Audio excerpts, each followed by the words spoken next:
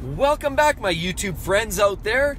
Welcome back to Exotic Car Play Place and the thread about BMW reliability and talking about which cars really are reliable, which cars are not reliable. Today we're going to do another check, another verification to see which cars really are reliable and, and more importantly, which ones are less reliable. So we're going to head on down to the local BMW dealership and we're going to snoop around. And what we're going to do is really check to see what kind of cars are in the shop. Now, firstly, there's a lot of different ways you can verify overall reliability. Yeah, there's fairly reliable ways, reliable ways of checking that. JD Powers, you can check things like consumers reports, you can look at Lemon-Aid guidebooks, you can talk to friends and family who may own a BMW. Maybe you own one and you've got your own kind of ideas to what type of drivetrain, what cars have consistently been good or bad for you. There's lots of ways to get that information as well as just general browse on the internet. Of course, you want to check around on my channel. There's lots of information there on various types of reliability on these cars. But today we're really going to zip down to the dealer and look around. I'm going to show you which cars are a problem. Now, of course, a lot of these cars are going to be in there for standard servicing, oil service, tire changes, brakes, routine stuff, of course. But there will be, and there should be, some level of consistency in terms of you will see a thread, I'm sure, if there's certain types of vehicles that are in there a little bit more than the others. I would think that that would be a bit of an indicator. And We'll walk you through that, and I'll point out some of the key cars that I find and that I notice, and I'll kind of share some of the info that I know about them that, you know, what leads them to be a problem. So let's go take a look, guys. All right.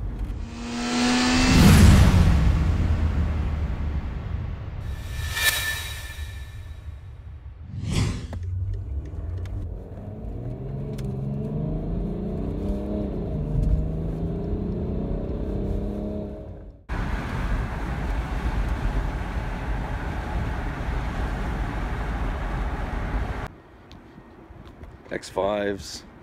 Seems to be a bunch of X5s. He looks like his tires changed because of the spares in the back. 550 GT. We have an E46 here. Kind of old. Most people don't take these to the dealer anymore just because of the age. 328. No plates. Probably a trade-in. Now this one here belongs in the service department. We all know what the reliability of the 7 Series is. That's a 750. We all talk about it's probably in here for a coolant leak. This car was extremely unreliable. Had a lot of electrical issues and whatnot. Tough car to keep. There's another X5, of course. X3. I see a lot of the SUVs. Another X3, X3. Old generation X5, of course. Lots of SUVs in this shop. We have a new generation 4 Series new generation 3 series. Oh, look old M3 this one's an E36 not sure what the Ford's doing here. Must be lost. Oh. What's this? Some weird noise coming. There's not even running. Well what can you say? Honda Hyundai. These must be trade-ins I would think in some cases and here we have a an X5 with the 35. Now I've got a friend that actually has this exact same car and he has had a lot of issues. They couldn't resolve it. Now it's that's the turbo in this car. He loves the way it drives. It's quick, it's fun, it's responsive. The problem is it's been in the shop a lot and that seems to go consistently with a lot of the other X cars. A lot of problems are great when they're running, but when you have a lemon, look out, they're gonna hurt you. So I don't know, his was a little bit of a problem. I haven't heard lately if he's got it sorted out, but he had a lot of issues with idling issues. The car would stall randomly and just overall drivability concerns with it. Power, yes, when it was good, it was awesome, but he had a lot of issues. Another X. So we have a 328. These are pretty generic though. It's probably in for standard servicing. We have an X5, another X5 here. We have an X6. No, this is, yeah, an X6. We have a GT here, 550. Then we have a 525, but this car looks a little bit rough. And then, you know, another 5, X, X5, X2. E90. This is an E90, that's a sedan. We have the 750. We know those are notoriously unreliable. Issues that have plagued the 7 Series for years. Moving right along, we have another 7 Series here. These are, again, the premium luxury cars, but they are notoriously unreliable. Then we move along, we see 328, M4, probably standard miscellaneous stuff. This car here looks pretty rough here. Here's an E92. We've got a, a coupe here. It's an E92. Look at the tires there. My goodness, right down to the threads, to the treads. This car's been driven hard, put away wet, I would say. We've got a 435. See, there's not a lot of these here. 330. See, newer generation stuff here. Of course, we got a 328, newer generation, good stuff. Again, probably standard servicing. These newer generations, you don't see a lot of issues in them yet. Newer Gen 435, probably st standard servicing. This one's nice. It's a Gran Coupe, actually. And then we have another 4 Series and another 430 here as well. Hard to say yet. Gran Coupe. This one's in.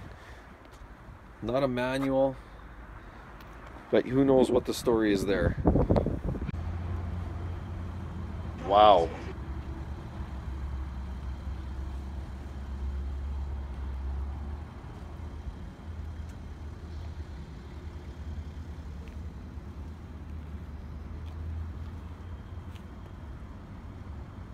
After walking through the service department here at the BMW dealer, it seems to be a bit of a common thread. So you see a little bit of everything here, I would say, which is pretty consistent with what you'd expect. But given the the larger numbers of X cars I've seen here, lots of X5s, lots of X3s in the service department, that leads me to believe that there's more service related problems with the X series of cars. Now, not only that, you have other issues. Obviously, there's a few of the newer cars, but that's not really a big indicator of the, like a 435 or a 240, because there was only a couple of them. So I would say as a rule, it's probably in there for standard servicing for the most part. But definitely there's a consistency with the X series of, of cars. The other thing, of course, is the 7 generation. Now, there's not a lot of them around in general because they're a premium luxury sedan. And because they don't have a lot of them that even hit the road, it's surprising to see two of them here alone in the service department. Obviously, there's a bit of an issue here consistently with the 7 Series cars. We know that the, that generation, the latest is okay, but but really these generations of 7 Series obviously have pretty substantial issues, as I mentioned before. And if you've seen some of the other videos, some of them are water, like coolant related issues and access. It's not so much that the, the, it's such a big problem, it's just the labor costs are huge on it because access on a lot of those cars like to get into some of the the hardware to change out water pumps or the coolant lines is very very difficult and it takes a lot of labor to get in there. That's where the problem lies. And of course because the cars are so complex with so many electronics that becomes a big problem there as well. Hugely expensive cars to run. And it doesn't surprise me to see a couple of that 7 series in here so after spending about 20 minutes in the shop there or in the bays, I would say that it's pretty obvious to me that given cars like the 3 Series, 4 Series, X1s, those are low cost price point cars generally in the BMW world, and yet we didn't see a lot of those cars in the service area. The majority of the vehicles that we saw in for servicing happened to be you know, X3s, X5s. And to me, that's a bit of an indicator. Now, of course, a lot of times those are in there just for basic servicing and oil service and whatnot. But obviously, it's a pretty good indication that there are typically more issues related to those cars. And the other thing I noticed, given the relatively low production numbers of the 7 Series, the fact that we saw two of them in there, they themselves are not short on issues. The 7 Series have always been plagued with complex issues related to electrical problems. I know there have been coolant related issues back in the mid late 2000s.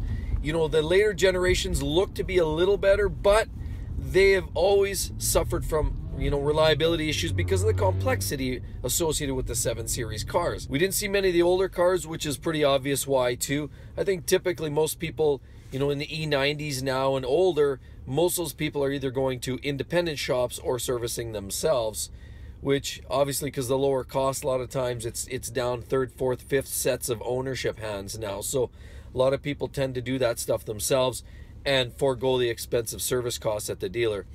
But anyway either way all in all i would say the most obvious to me are the x cars.